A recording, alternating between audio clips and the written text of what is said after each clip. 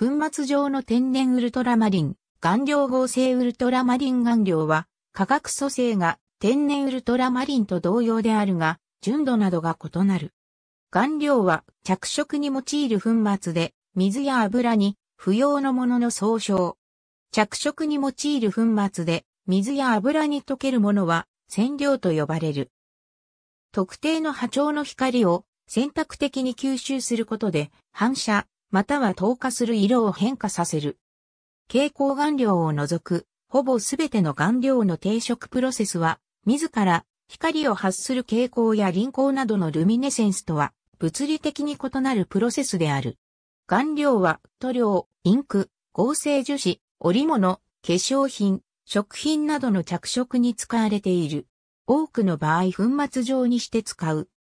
バインダー、ビークルあるいは転色剤と呼ばれる接着剤や溶剤を主成分とする比較的無色の原料と混合するなどして塗料やインクといった製品となる。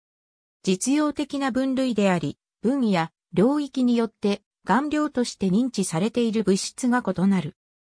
顔料の世界市場規模は2006年時点で740万トンだった。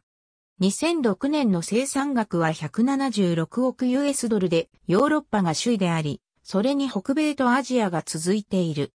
生産及び需要の中心はアジアに移りつつある。様々な波長の光が顔料に当たる。この顔料の場合、赤と緑の光は吸収され、青い光だけを反射するため、青く見える物体として図示されている。ただし、現実の顔料は、このように単純ではなく、光線自体に分光特性は存在しても色があるわけではないし、見払い色として機能する絶対的な光も存在しない。顔料は特定の波長の光を選択的に反射、または吸収するため、色があるように見える。白色光は可視光、スペクトル全体をほぼ均等に含んでいる。この光が顔料に当たると、一部の波長は顔料に吸収され、他の波長は反射される。この反射された光のスペクトルが人の目に入ると、色として感じられる。単純に言えば、青い顔料は青い光を反射し、他の光を吸収する。顔料は蛍光物質や輪光物質とは異なり、光源の波長の一部を吸収して除去するだけであり、新たな波長の光を追加することはない。顔料の見た目の色は、光源の色と密接に関連する。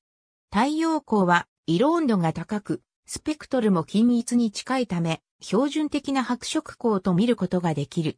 人工的な光源にはスペクトルに何らかのピークや谷間がある。そのため、太陽光の下で見た時とは色が違って感じられる。色を色空間で数値的に表す場合、光源を指定しなければならない。ラボ色空間の場合、特に指定がない限り D65 と呼ばれる光源で測定したと仮定される。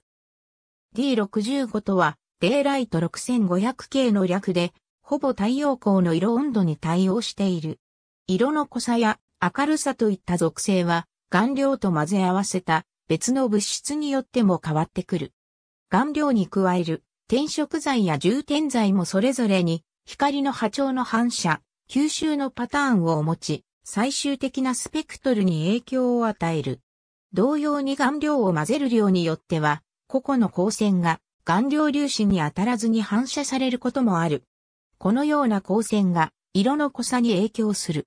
純粋な顔料は白色光をそのまま反射することはほとんどなく、見た目の色は非常に濃いものとなる。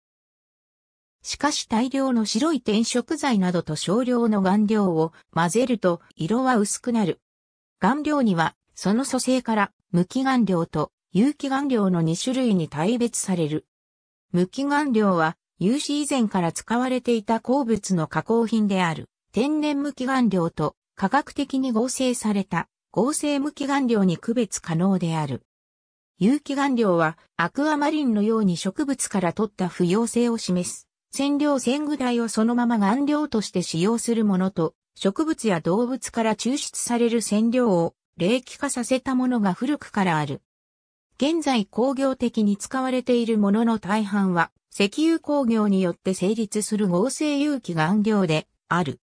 合成有機顔料には化学構造自体が不溶性を示すものと水溶性の合成染料を不溶化させた冷気顔料がある。それぞれの顔料にはカラーインデックスによって分類番号及び分類名が付与されている。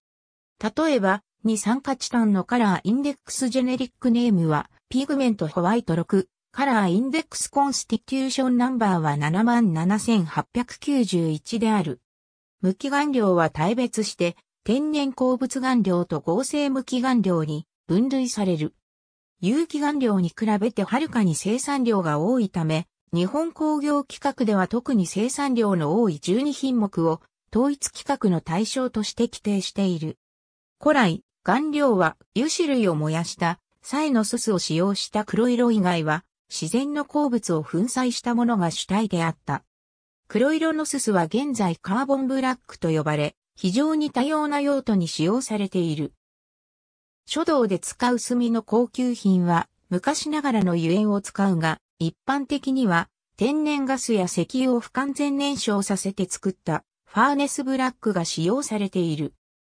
また絵の具では植物を燃やして作った植物性黒や動物の骨を燃やして作った骨端も使われている。ラピスラズリを使ったウルトラマリン青やクジャク石を使った六章などは高価であり、高級な絵画や装飾物に使用された。赤色はベンガラや新車が使われた。現在工業的に使用されているものは、アンバーやシェンナといった天然度由来の褐色顔料や炭酸カルシウム、カオリンなどが多い。これらの天然鉱物顔料のうち、単色ないし無色の顔料は、単色の塗色を作るときに使われる。また、冷液顔料の製造における単体としても使われる。特殊な例として、白色雲母を粉砕して使うパール顔料がある。天然鉱物顔料は今日では顔料工場にて微粉砕されており、使用目的に応じた科学的処理を受けて出荷されている品種も多い。科学的に合成された純然たる合成無機顔料は1704年にドイツで合成された根性以来数多くの品種がある。白色顔料は今日ではチタンジロや亜鉛化が使われており、古くからおしろいに多用され中毒を起こして問題になっていた塩白は油絵具以外には使われなくなった。代表的な合成無機顔料としては他に合成酸化鉄赤、カドミウム基、ニッケルチタン基、ストロンチウム基、岩水酸化クロム、酸化クロム、アルミ酸コバルト、合成ウルトラマリンアウトがある。無機顔料は一般的に有機顔料に比べると着色力、鮮明さ、透明性に欠けるが、対光性がよく塗料などに多用される。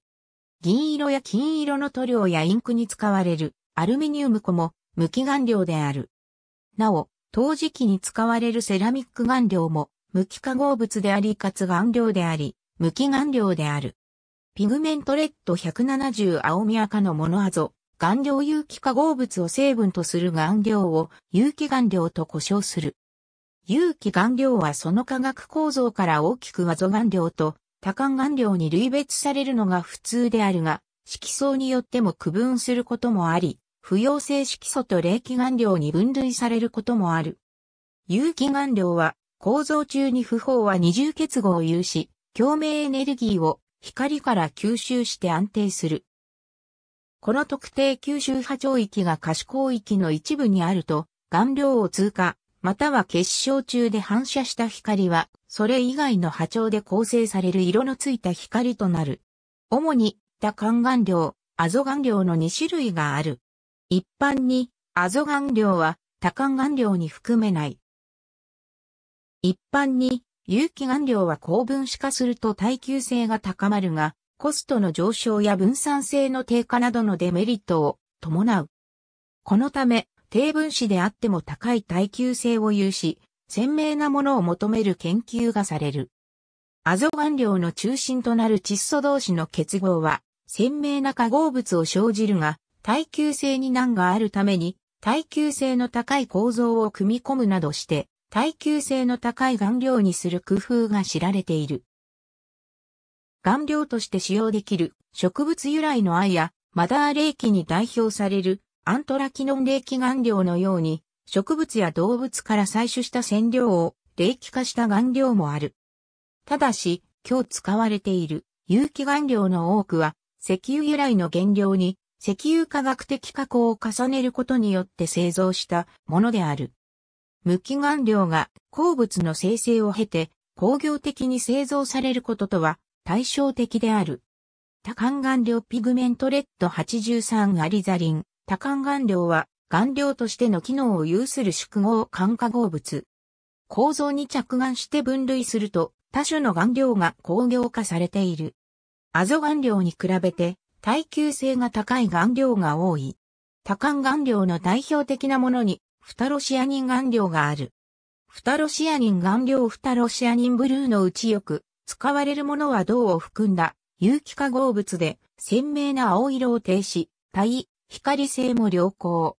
緑色のフタロシアニングリーンも同系統の化合物。キノン構造を有するアリザリンをレーキ化して顔料として用いている事実がある。 Pigment Red 177のように顔料であることからレーキ化が不要なアントラキノン、顔料もある。色相ごとに分けて列挙する。アゾ顔料アゾキイミダゾールアゾ顔料は、窒素原子同士の二重結合を有する化合物である。アゾ化合物のうち、顔料としての機能を有するものを指す。レモンイエローからルビーを定食する。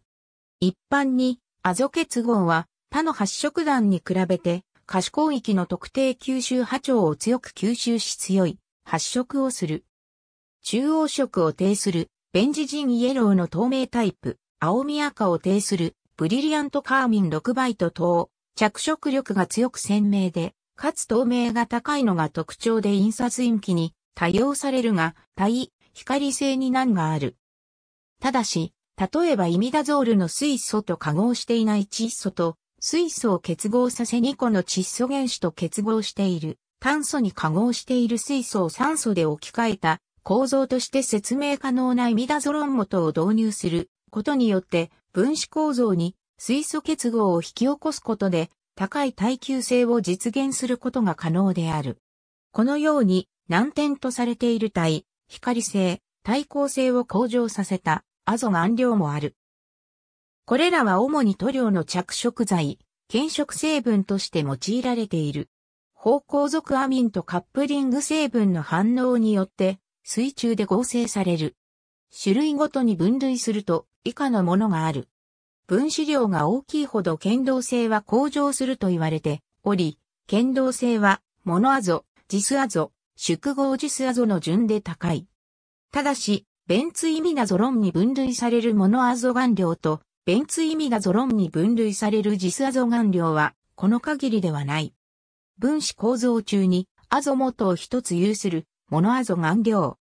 モノアゾに金属を配位した冷気顔料も、モノアゾ顔料に分類される。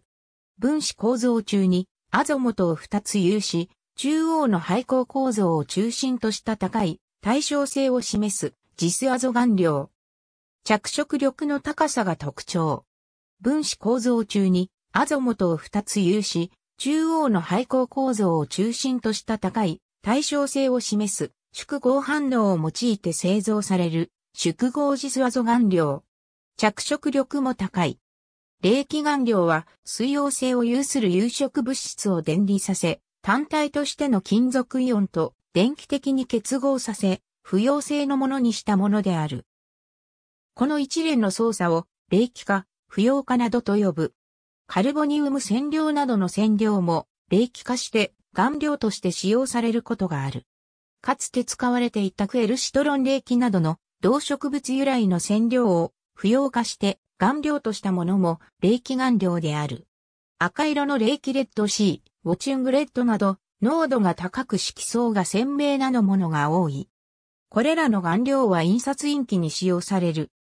アリザリン冷気は絵の具に使用されるが、屈折率が一般的な固着成分に近いため高い透明性を示す顔料で、その独特な色合いや高い透明性から好まれており、高い需要がある。高い透明性が要求される。インクジェットプリンターにおいてもマゼンタに採用される。キナクリドン顔料よりも屈折率が低い。つまり、この意味での透明性は、アリザリン冷気の方が高い。蛍光顔料インクによるペイント。ブラックライト照射による発光。蛍光顔料は、主に、フォトルミネセンスにより抵触する顔料である。そのうち、有機質のものとして、樹脂に蛍光染料を固着し、微細化したものがある。顔料化により、蛍光染料にはない耐久性や発色性、隠蔽性などを有する蛍光色素となる。通常光化で鮮やかに各色に抵触し、ブラックライトなどの UV 効果では、より強く発光する。これらの有機蛍光顔料は、ネオンカラーの色素として使用される。顔料の通常反射に加えて、フォトルミネセンスで発色するため、一般顔料に比べて、より鮮明に見える。これら可視タイプの他に、通常光化では、無色でブラックライト下で各色に発色する不可視タイプのものもある。一方、無機質のものは蛍光体と呼ばれ、気土類元素をドープした金属酸化物などがある。それ自体が水、油に不要で微粉末で顔料として解釈される。主に、ブラウン管、蛍光灯、レイン極管、白色発光ダイオードなどの蛍光発光物質として使用されている。通常光化では無色でブラックライトなどの単波超効果で各色に発色する。一般的に有機質の不可視蛍光顔料に比べて効果、抗体球性である。講義には光照射を止めても残光発光する向きの蓄抗体も含まれる。色相が鮮明で着色力が強いものが望ましい。透明性は屈折率と粒子系に依存する。一般に中立ち剤との屈折率が近似すれば透明になる。また、可視光線波長の半分以下の粒子系では透明になるが、それ以上では小さいほど不透明になる。要求される透明性の度合いは目的によって異なる。塗料に用いるものは不透明性を要求されるが、三原色のシアンマゼンタイエローとキーの4色の陰気を重ねるカラー印刷には透明色が使用される。顔料が粉体のまま使われることはほとんどなく、塗料、インキ、絵の具、クレヨンクレパスカラーマーカー等の形で使われる。これらは顔料を水や油、溶剤、樹脂、ワックスなどのバインダーと練り合わせたものである。顔料は使用目的に応じてバインダーに対しての分散性を要求される。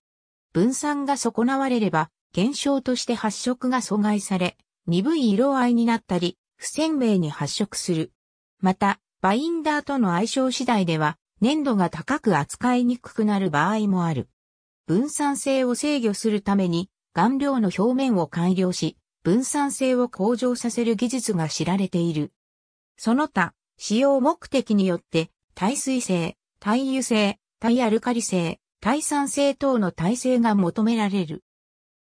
カーボンブラックをゴムに練り込むと、ゴムの強度が著しく向上する。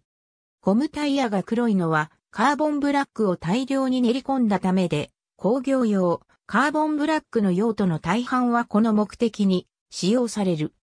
カーボンブラックの化学構造は黒鉛であり、黒鉛は導電性を有する。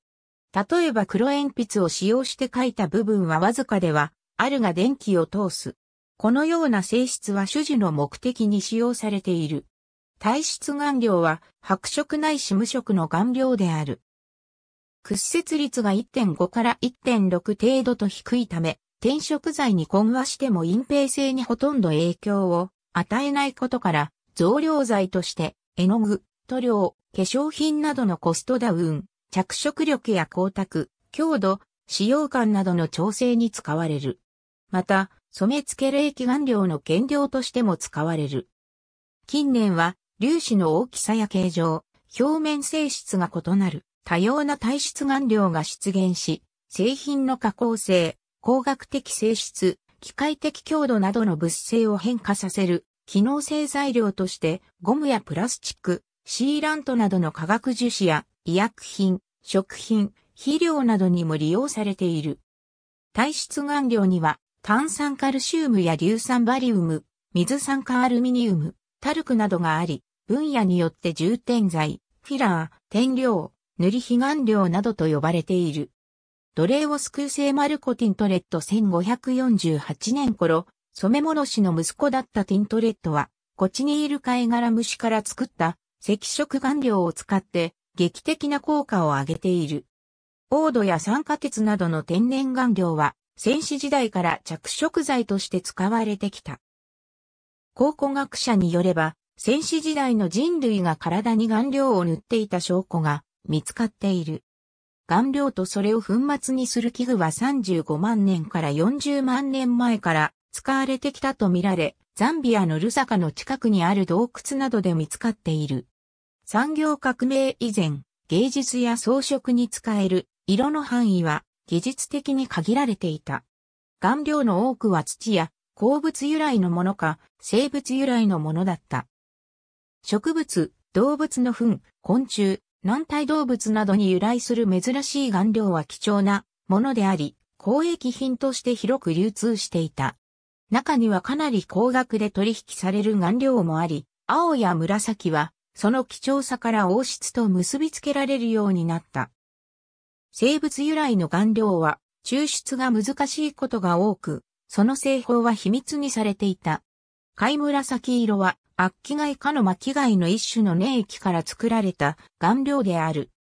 織物の染色のための貝紫色の生産は、フェニキア人が紀元前1200年頃から始め、それをギリシャ人が受け継ぎ、東ローマ帝国が滅亡する1435年まで続いた。この顔料の製造は手間がかかり、その色で着色したものは富と権力の象徴となった。古代ギリシアの歴史家テオポンポスは、紀元前4世紀の著作で、染料のための紫は、コラフォンで同じ重さの銀と交換して入手したと書いている。鉱物顔料も交易の対象として広く売買された。深い青の顔料ウルトラマリンは宝石に近いラピスラズリからしか作れず、ラピスラズリの産地はヨーロッパからは遠かった。フランドルの15世紀の画家ヤンファン・エークは高すぎるため絵に青を使えなかった。ウルトラマリンを使った肖像画を描いてもらうことは大変な贅沢だった。青を使った絵を所望する場合、特別料金を支払う必要があった。ファンエークはラピスラズリを使う場合、決して他の色と混ぜなかった。その代わりにほぼ純粋な青を装飾のように絵に乗せた。ラピスラズリがあまりに高価だったため、画家たちはもっと安価な代替顔料を探し求め、鉱物顔料と有機顔料が誕生した。歌川博重、京都名所の内淀川。浮世絵に特徴的な青はインディゴの色であり、ジャパンブルー、もしくは広重ブルーと呼ばれる。16世紀スペインによる新大陸の征服により、西洋では新たな顔料が入手可能になった。中央アメリカと南アメリカで寄生昆虫から抽出した染料と顔料であるコチニール色素が得られ、ヨーロッパで珍重されるようになった。これはコチニール貝殻虫を集め、乾燥して砕いたもので、染料としても顔料としても使え、絵の具や化粧品によく利用されている。ペルーの原住民は紀元700年頃からコチニール染料を染色に使っていたが、ヨーロッパ人はそのような色を見たことがなかった。スペイン人はステカを征服すると、新たに入手した色素を交易に早速利用した。この地域の輸出品としては、コチニール色素が銀に次ぐ重要な産物となった。この顔料カーマインで、数奇鏡のローブを染め、イギリスの軍服も鮮やかに染めるようになった。この顔料の原料が昆虫であることは18世紀まで秘密にされていたが、生物学者らがその秘密を暴いた。カーマインによってヨーロッパでは赤の値段が下がったが、依然として青は高価であり、富と権力の象徴になっていた。17世紀オランダのヨハネス・フェールメールは作品にカーマインやインディアンイエローと共にラピスラズリを多用したことで知られている。ドブロリ公爵夫人、ドミニク・アングル1853年かつての画家たちが無双していた豊富な色彩が実現可能となった頃の作品。初期の顔料には天然の鉱物が使われていた。天然の酸化鉄は様々な色を発色するもので、旧石器時代及び新石器時代の洞窟壁画によく使われている。例えば、無水の Fe2O3 のレッドオーカー、岩水の Fe2O3、H2O のイエローオーカーがある。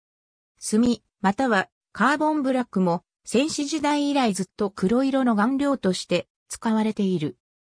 最初期の合成顔料として塩白と青フリットがある。塩白は鉛と食図を混ぜ、そこに CO2 を加えて作る。青フリットはカルシウム同系酸ジオであり、クジャク石などの銅鉱石で着色したガラスを砕いて作る。これらの顔料は紀元前2000年期には使われ始めている。産業革命と化学革命により合成顔料は大きく発展することになった。合成した顔料や天然素材から抽出した顔料が製造業にも芸術にも使われるようになっていった。ラピスラズリが高価だったことから特に青の顔料をより安価に製造する努力がなされた。最初の青の合成顔料として登場したのが、根性で1704年のことである。19世紀初め頃には、青の合成顔料や金属顔料がさらに登場した。合成ウルトラマリンやコバルト青、セルリアンブルーなどである。20世紀には有機合成顔料のフタロブルーが登場した。顔料の多色化は新たな産業を生み出し、ファッションにも影響を与えた。1856年には初のアニリン染料であるモーブが発見され、それをきっかけとして多数の合成染料や合成顔料が生み出されることになった。モーブを発見したのは18歳の科学者、ウィリアム・パーキンで、この発見を事業化して富を得た。この成功にあやかろうと多くの追随者が出てきた。金持ちになることを夢見た若い科学者が有機化学分野に集中するようになった。数年後、アカネ色素の代替としてアリザリンの合成顔料が工業生産され始めた。19世紀末には織物や塗料などの日用品に赤、青、紫といった色を安価に使えるようになった。合成顔料や染料の開発は、ドイツを中心とする北ヨーロッパ各国の産業の繁栄に寄与したが、同時に天然顔料の産地は打撃を受けた。スペインはメキシコで数千人の低賃金労働者を雇ってコチニール色素の生産を行っていた。コチニール色素の生産はスペインが独占して、そこから富を得ていたが、1810年に始まったメキシコ独立革命と市場の変化によって生産量が低下した。これにとどめを刺したのが有機化学である。科学者がカーマインの安価な代替品の開発に成功すると、コチニール色素生産量は急激に低下していった。聖母の飛翔点1518年頃、ティツヤーノの天然顔料バーミリオムを使ったフレスコが、産業革命以前、顔料はそれを産する地名と結びつけられていた。鉱物や土を原料とする顔料は、その採掘が行われている地方や都市の名で呼ばれることが多かった。シェンナはイタリアのシエーナに由来し、アンバーはウンブリアに由来する。これらの顔料は合成も容易だったため、科学者が天然のものより純度の高い顔料を合成するようになった。それでも地名に由来する名称はそのまま使われている。歴史的かつ文化的な天然顔料の名称はそのままで多くの天然顔料が合成顔料で代替されている。場合によっては色の名称が表す色そのものが変化したケースもある。一般に天然顔料を代替する合成顔料は色相を維持するが製造業者が色相の維持に特に気をつけているわけではない。以下に歴史的な顔料の名称が表す色が変化した例を示す。ありがとうございます。